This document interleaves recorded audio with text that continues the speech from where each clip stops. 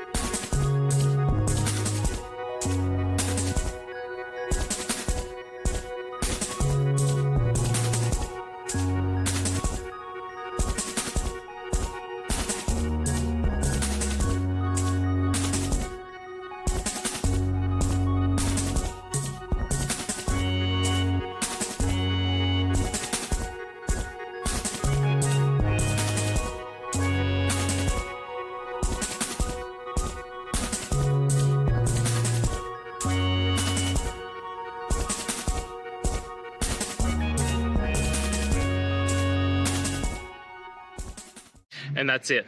I hope this video has helped you get through to that resolution that you're looking for. If it did, please hit subscribe. And until next time you need technical help, I hope you have a good one. Cheers.